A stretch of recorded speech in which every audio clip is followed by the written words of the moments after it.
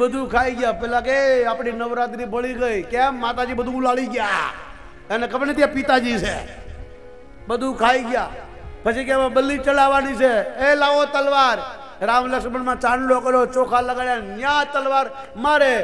અને ત્યાં તો રામ બોલી ગયા, લોહે કા કિલ્લા, લોહે કા તાલા. હનુમાન કી ચોકી, રામ રખવાલ. ઓમ હનુમતાય નમા. ત્યાં તો મૂર્તિ ભાડીને એક લાત મારી અહિરાવણને બત્રીસે બાર.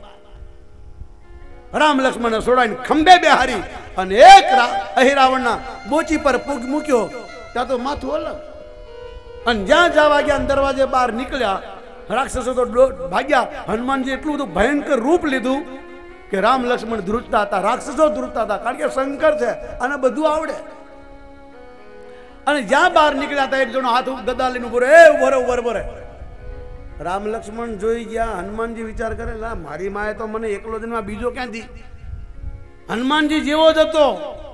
અને હાથમાં ગદા લઈને કીધું, ખબરદાર બહાર નીકળ્યો તો કેમ? તે મારા માલિકને માર્યો. એટલે, એ, મેં રાક્ષસ ન માર્યો. તું કોણ છે? કે હનુમાનનો છોકરો. અને હનુમાનજીનું મગજ્યું, રામ લક્ષ્મણ તો ખડખડાટ હસી ગયા.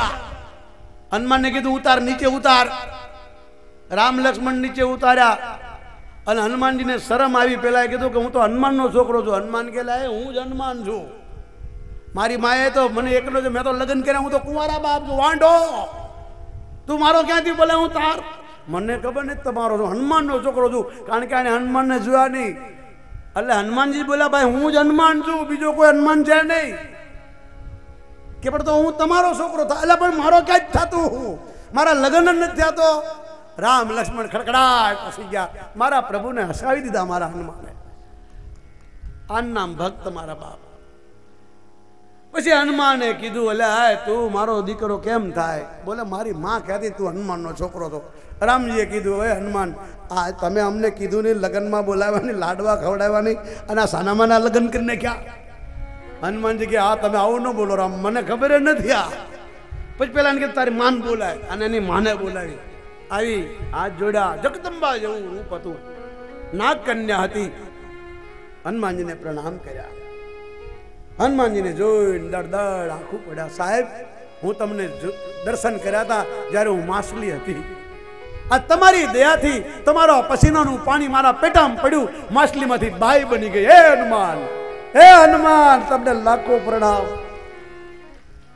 હનુમાનજીની આંખમાં આંસુ આવી ગયા. શું વાત કરે તું? તું માછલી હતી બોલે, હું માછલી હતી, બાપ. હું નાગની કન્યા શેષનારાયણની ભત્રીજી છું. શેષનારાયણનો ભાઈ વાસુંગી શંકરના ગળામાં રહે છે. એની હું છોકરી છું. શેષનારાયણ મારો કાકો છે. પણ મને એક સંતે સાપ આપ્યો હતો.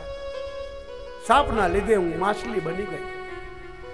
જ્યારે તમે લંકા બાળી અને જ્યારે તમારું પુષ્પ દરિયામાં બોળ્યું, ઠંડુ કરવા આવ્યા અને તમારું પૂછડું લઈને બોલતા હતા વાંકા વળી તમારો પસીનો પડ્યો, મારા પેટમાં ગયો, મારા બા. અને આ તમારો છોકરો છે. આ તમારા પસીનાનો એક ટીપાનો. આ તમારો વીર પુત્ર થયો. વિચાર કરો, આ બ્રહ્મચારીનું કેટલું તેજ હશે, મારા બા. એક પસીનાનું ટીપું પડ્યું માછલીના પેટમાં. માછલીને સાપમાંથી મુક્ત થઈ બાઈ થઈ અને દીકરાને જન્મ આપ્યો. હનુમાને તો ગળે લગાડ્યો, આય બાપા, આય મારા દીકરા. કોળે બેહાર દીધો, હાથ લગાવ્યા અને હનુમાને પૂછ્યું, બેટા, તારું નામ શું? એને કીધું મકર ધ્વજ આ હનુમાનજીનો દીકરો છે મારા બાપ મકર ધ્વજ હનુમાનજી અને અહિરાવણની ગાદી પર બેહારી તિલક કર્યું કીધું, બેટા, તારો બાપ અમર છે, હવે તું પણ મરીશ નહીં. જા, પાતાળમાં બેઠો બેઠો રાજ કર અને મારા રામનું ભજન કર. આજ બી મકર ધ્વજ પાતાળમાં બેઠો આ હનુમાન, આ હનુમાનનો અવતાર શંકર માટે શંકરની પૂજા કરો, મારા બાપ. આખી અયોધ્યા શિવને માનતી હતી, વૃંદાવન શિવને માનતી રામના ટાઈમ શંકરની જ પૂજા થતી હતી. કૃષ્ણના ટાઈમમાં શિવની જ પૂજા થતી હતી મારા બાપ. એ તો રામ કૃષ્ણ ગયા પછી આપણે મંદિર બનાવ્યા. બાકી શંકરના મંદિરો તો યુગોથી ચાલે. સોમનાથ, સતયુગમાં થયેલું મંદિર છે બાપ. કાલનું નથી બન્યું. એ તો પછી મહાપુરુષો એને જીર્ણોદ્ધાર કર્યો. જે આપણા દેશનો લોખંડી પુરુષ વલ્લભભાઈ પટેલ એને તાળીથી વધાવો મારા બાપ. જાણે સોમનાથને સુંદર બનાવ્યું અને એ સોમનાથને બચાવ્યું હોય તો હમીરસિંહ ગોહિલ એને તાળીથી વધાવો મારા બાપ, આવા મહાપુરુષોને લાખો પ્રણામ. અને જે સૌરાષ્ટ્રમાં, એમાં પાછું સૌરાષ્ટ્રમાં આપણે કેટલા ભાગ ચાલી કે સોમનાથ આપણા સૌરાષ્ટ્રમાં છે અને સોમનાથમાં જેટલી પવિત્રતા, જેટલી સફાઈ છે, એટલી કોઈ જ્યોતિર્લિંગમાં નથી, મારા બાપ, આ સોમનાથ ભગવાન તમને સંપત્તિ આપી તો પાસે બેઠા છો. મહિને, બે મહિને, સો મહિને, બાર મહિને સોમનાથના દર્શન કરજો. પણ એ પહેલાં હમીરસિંહ ગોહિલને દર્શન કરજો. હમીરસિંહ બાપુના. જેણે સોમનાથ માટે પોતાનું બલિદાન સખાવત વારી દીધી. ધર્મ માટે, મંદિરો માટે, ગાયો માટે જેણે બલિદાન કીધા હોય, એને જ માટે તાળી પડાવવાની હોય. મારા બાપ કોડાઓની તાળીઓ ન પડાય. પડા પડાવો ધાર્મિકની, કોઈ દાતાઓની આવા કામમાં રૂપિયા વાપરે, એની તાળીઓ પાડો. પેલા ખોટે ખોટી તમને વચન આપી જાય પાછા બદલી જાય એની તાળીઓ ન હોય. માટે મારી પ્રાર્થના છે મારા બાપ. હું કોઈનો વિરોધી નથી બાપ. પણ સાચું તો કહેવું જ પડે ને મારા બાપ. અમે તો સાધુ છીએ, ભીખ માગીને ખાવાવાળા. અમારો કોઈ દુશ્મન નહીં, કોઈ શત્રુ નહીં. આપણા દેશમાં એવો એવો નેતા આવે આ દેશમાં. બેન દીકરીની આબરૂ કોઈ લૂંટે ને ફાંસીનો હુકમ થાય, એવો નેતા આવે, આ મસ્તરામ બાપાને પ્રાર્થના. જો કપટ છોડીને, અભિમાન છોડી કથા ગાતો હોવ, મારે કાંઈ લેવાનું ન હોય, તો એવા માણસોને મસ્તરામ બાપા લાવે ત્યાં દેશની સેવા કરે. બાકી તો બધા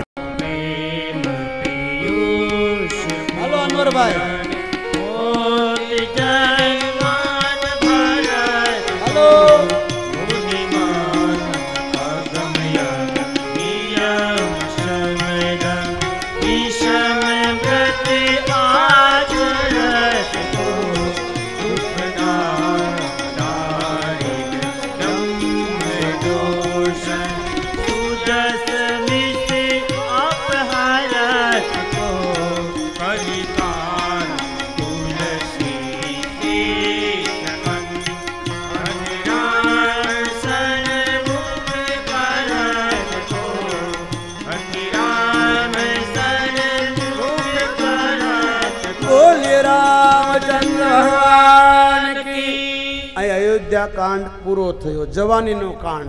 હવે અરણ્ય કાંડની કથા ભગવાન શંકરમાં પાર્વતીને કહેશે મેં તમને એક જ કલાક કથા સંભળાવી.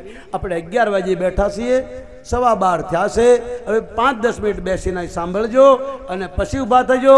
આગળની કથા આપણે ત્રણ વાગે ભેગા થઈને થશું. કારણ કે ગરમીનો સમય છે, ભોજન કરવાનું છે બધાએ. ભોજન કર્યા વગર કોઈ જવાનું નથી. અને ભોજન કરીને પાછા કથામાં આવજો મારે બાપ.